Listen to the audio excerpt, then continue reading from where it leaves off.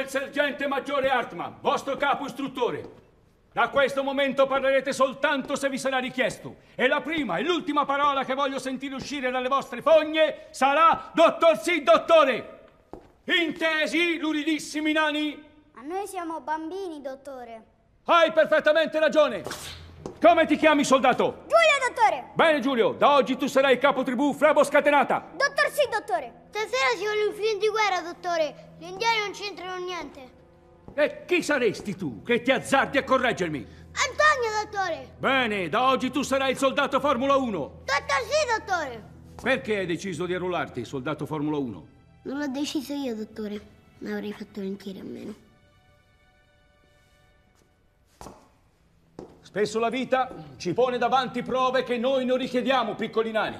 Ma se riuscirete a portare avanti l'addestramento, voi sarete un'arma, voi sarete dispensatori di vita, voi sarete temprati per altre battaglie, ma fino a quel giorno voi siete soltanto uno sputo! E addirittura. Un po' troppo, eh? Un po', corotto.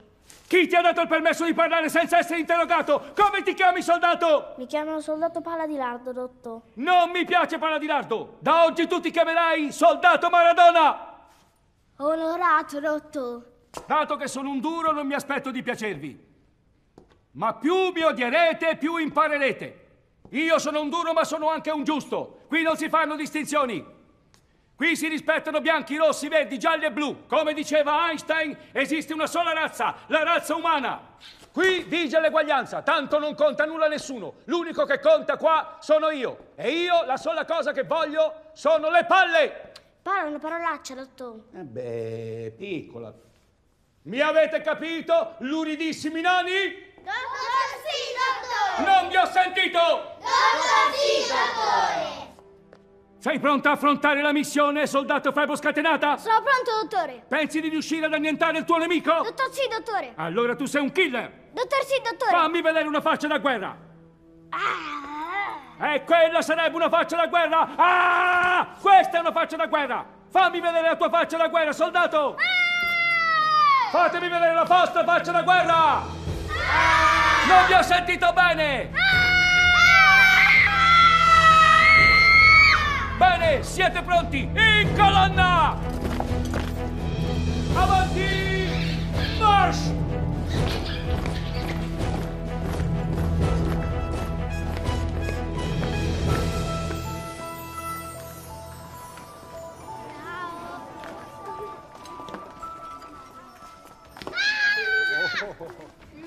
Dai, dai, forza, poi passo a trovarvi, eh? Ciao. E non facciamo disperare gli infermieri, mi raccomando. Ciao.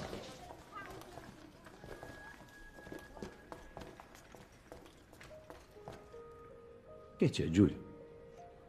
Ma la prossima volta dove andremo, dottore? La prossima volta si va su Marte. Dottor sì, dottore. Zitto, siamo in un ospedale. Zitto, vai nella tua stanza. Ok, ciao.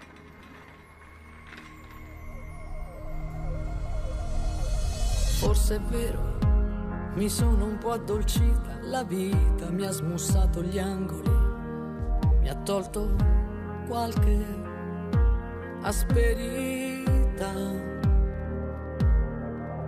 Il tempo ha cucito qualche ferita e forse tolto anche i miei muscoli, un po' di elasticità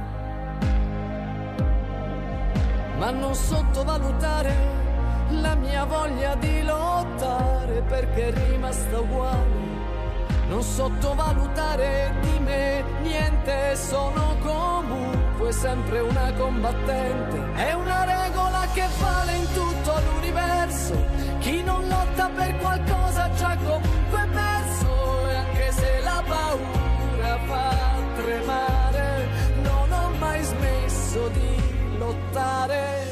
per tutto quello che è giusto, per ogni cosa che ho desiderato, per chi mi ha chiesto aiuto, per chi mi ha veramente amato.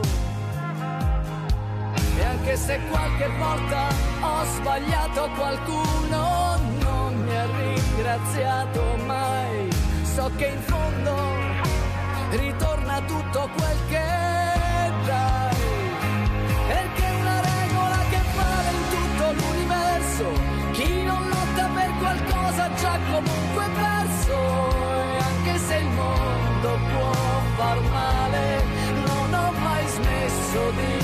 lottare è una regola che cambia tutto l'universo, perché chi lotta per qualcosa non sarà mai perso.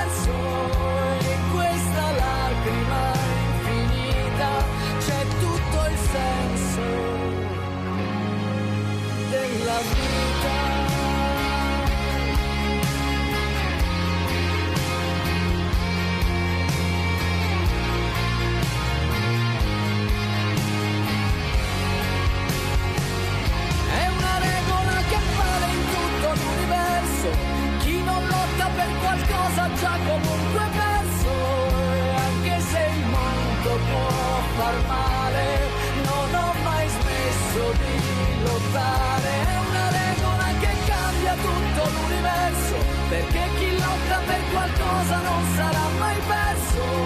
E in questa lacrima infinita c'è tutto il senso della mia vita.